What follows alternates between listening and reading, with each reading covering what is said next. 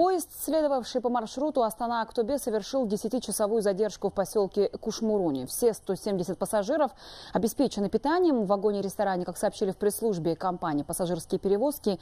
Из-за технических причин поезд прибудет на станцию Актобе с опозданием, поскольку скоростной состав Тулпартальга должен был преодолеть этот путь за 16 часов 54 минуты. При этом по прибытии в пункт назначения пассажиры получат положенную компенсацию. После того, как поезд прибудет на конечную станцию в Актубе, каждому пассажиру в соответствии с законом о железнодорожном транспорте и правилами перевозок будет выплачена компенсация в размере 3% от стоимости билета. Компания будет выяснять, в чем причина опоздания.